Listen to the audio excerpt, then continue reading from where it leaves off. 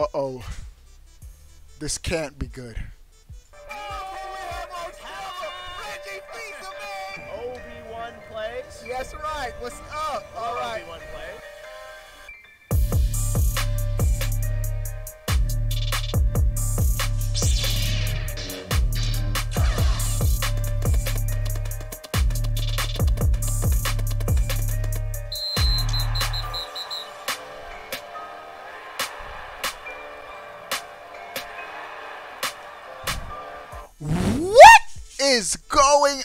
Everybody? How are y'all doing, boy?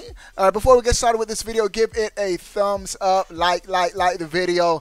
Let's talk about these news items. We got a couple of dope news items for this video, but the first one, a little disappointing, bro.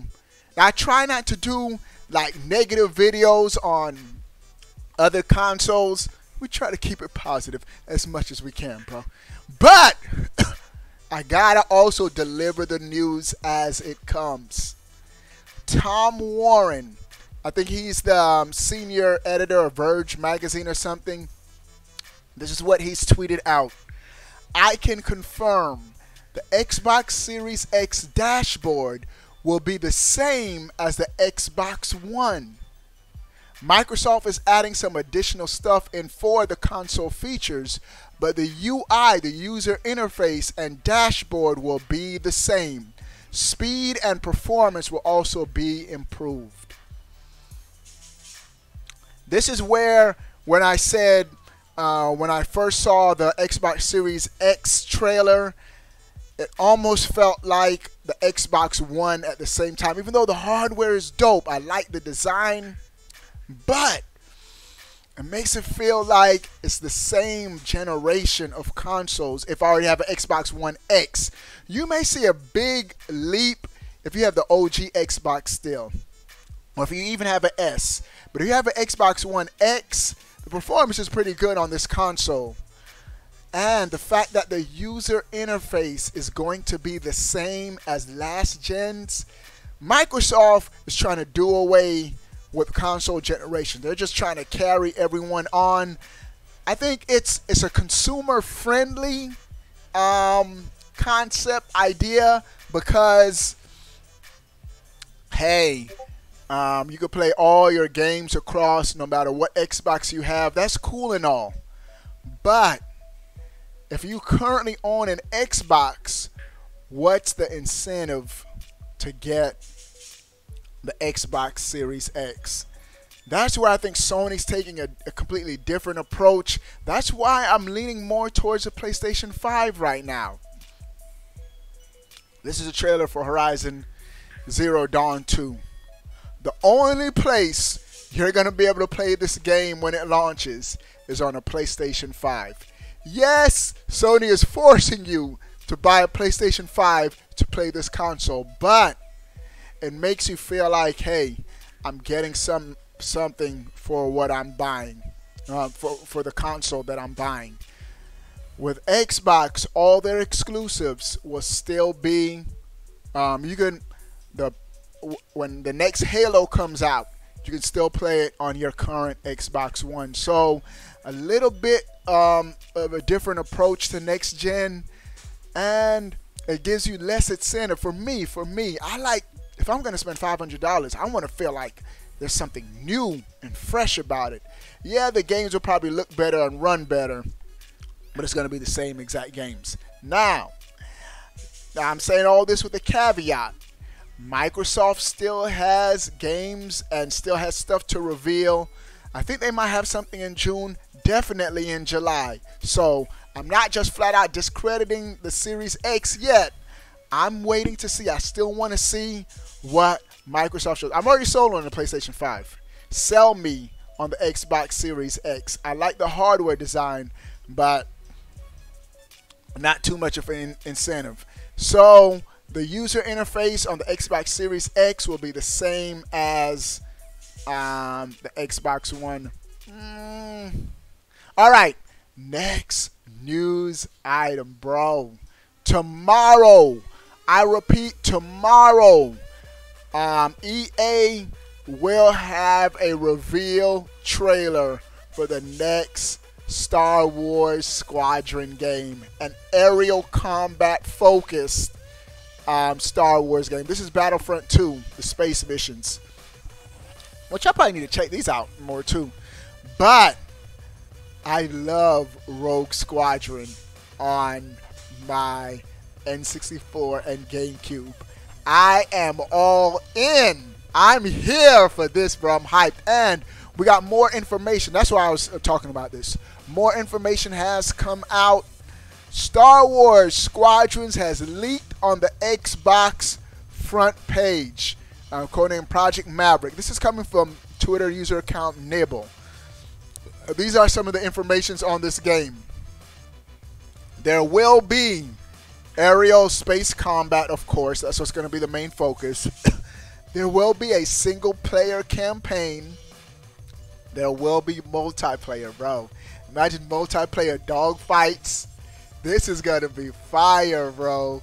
And it's coming to PC and consoles this fall. This fall. So the game is coming out this. I'm telling you, man, 2020 has turned into a dope year for gaming, bro. In spite of all, it's a, 2020 has been a horrible year for everything else outside of gaming. But for gaming, 2020 has been pretty amazing, bro. Speaking of pretty amazing, bruh, the reviews for Last of Us Part 2 has dropped and I've never seen this many perfect scores in a minute, bro. Right now, The Last of Us 2 is standing at a 96 on Metacritic. That in itself is crazy. But check this out. Digital Chumps 100. Games.cz 100. The Washington Post 100. Screen Rant 100. Game Over 100. 100. Digital Trends 100. Gamer.nl 100. Comicbook.com 100. VG Games 100. Gamer Sky 100, Power Limit 100, 100, 100, 100, Game Rant 100, Impulse 100. Y'all see my point? VG 24 7 100. IGN, probably the biggest game review site. 100. Game Informer, probably the second biggest review site. 100. Trusted Reviews, 100. VGC, 100. 100. Bruh! Bro, who did not give this game a 100, bro? Oh, Hobby Consoles gave it a 99. Bro, so many 100s. This is going to be a day one buy easy. Can't wait. And this is where I think Microsoft really has to step up next gen, bro. They're going to have to show me something with their games um, presentation. The first one was a fail with the third party whammy on the first part. More than Here's Gears and Here's Halo, Gears, and Forza. They have to bring it um, this year. They invested a lot in their studio, so they have to, bro. Announce something with Banjo, bro. That is like a layup, bro. It's so easy. Banjo has all the hype from Super Smash Brothers.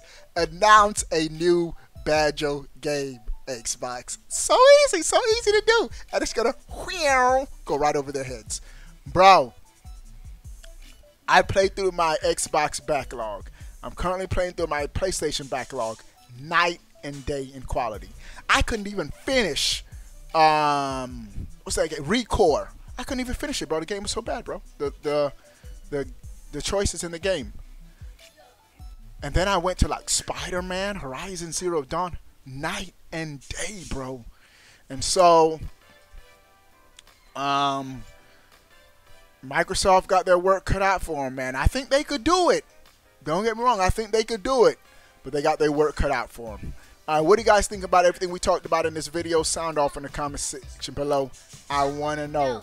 But before you go, bro, click that subscribe button. Stay up to date. All things gaming, bro. We out.